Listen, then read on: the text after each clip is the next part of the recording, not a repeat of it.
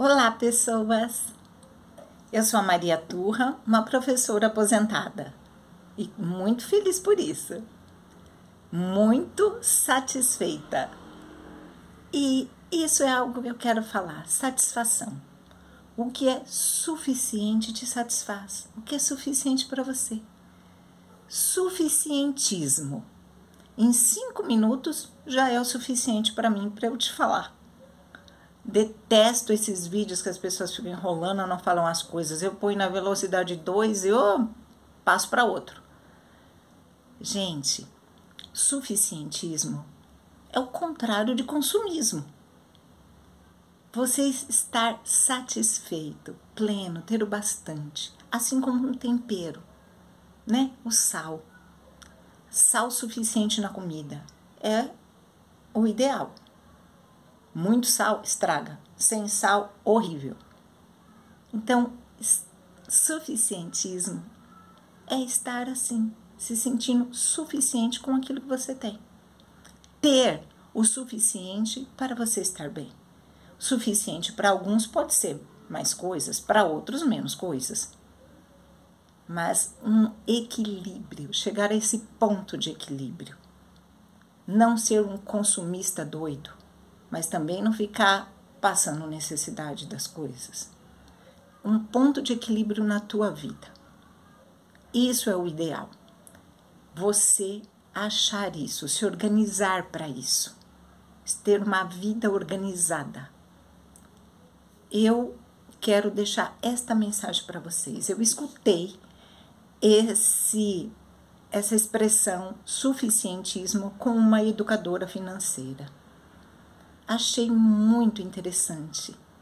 Busco isso para mim e desejo o mesmo para você.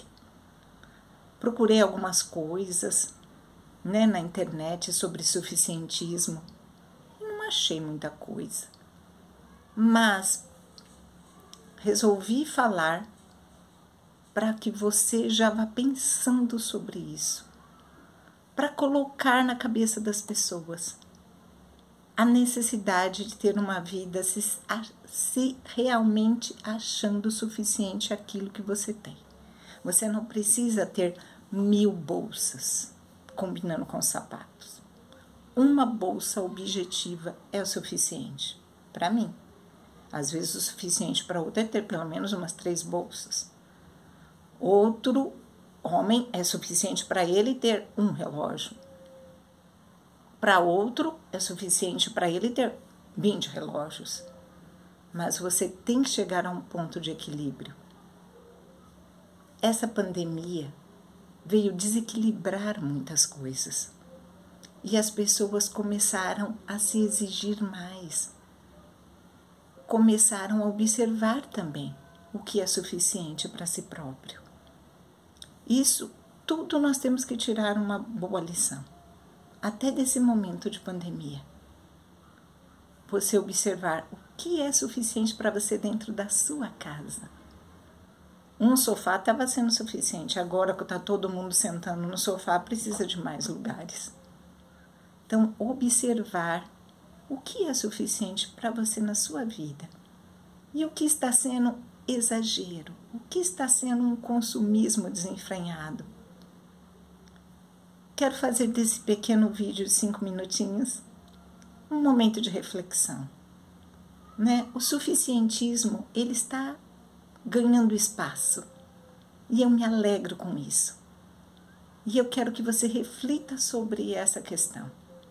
Quero deixar esse pensamento aí para você, esse desafio de observação. Observa na sua vida, né? O que você precisa qual é a sua medida?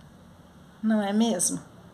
Qual é a medida que você está precisando? Se você não pode baixar um pouco isso, né? O planeta está pedindo menos consumo. O planeta está gemendo e faz tempo. Quem sabe possamos ouvir o clamor, o clamor de todas as coisas. Os animais estão clamando. E eu desejo para você uma vida organizada e feliz. Beijos!